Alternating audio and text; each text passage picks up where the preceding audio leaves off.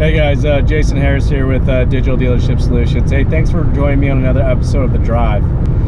Something, guys, I just, I just need to talk about. I, actually, I just got to vent a little bit and just get this off my chest. And it wasn't even with dealerships; it was for, it was with the bloody OEM. Here's what I gotta say. All right, ad formats are not a strategy.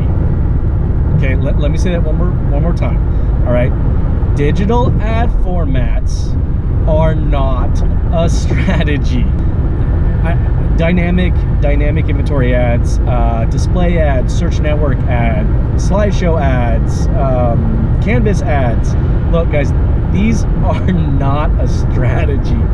These are an ad format, all right? When used in combination with a proper strategy, can bring performance. Okay, so here's what happened here. I'll just let you know. All right, um, did a presentation for an OEM here just recently, and what I was just insanely dumbfounded by their current provider, which, by the way, pretty big name agency, in no way or form was was providing this manufacturer straight up strategy. In fact, the only thing they were providing them was just freaking ad formats and calling it strategy. Like dynamic inventory was an ad strategy, and and um, you know video ads and canvas ads on Facebook were an ad strategy, and HTML5 Google display ads is a bloody strategy. There was no strategy into it whatsoever.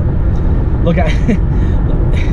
It was literally advertising for the sake of advertising. No goal or objective put in place.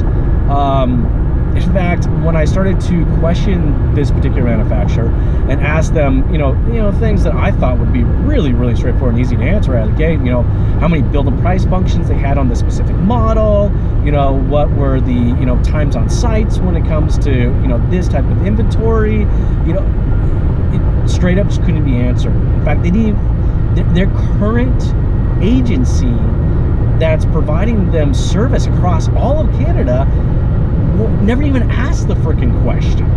They were just straight up advertising the cheapest vehicle possible, one single ad set, one HTML5 uh, Google display banner, going to one driven page and calling that freaking strategy. I've said this before, and I'll say it again.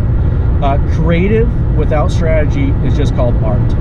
And, and, and I bring this up and I do this video because I really think at the dealership level we can learn from this. All right, and I don't want you guys falling into the same same habits that that a ad format is is a strategy when it clearly isn't.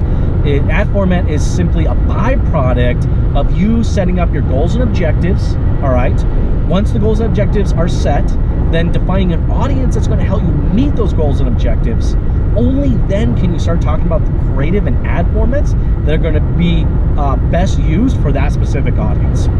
Let me know about your manufacturer. Maybe this is uh, a one-time thing. Maybe I just ran into a specific one and this is all it is. Does your manufacturer do this? Do they, do they look at digital ad formats as strategy? I'm really kind of curious. Drop me a message down below. I love reading those comments. And thank you so much for you guys this time. You have a wonderful day.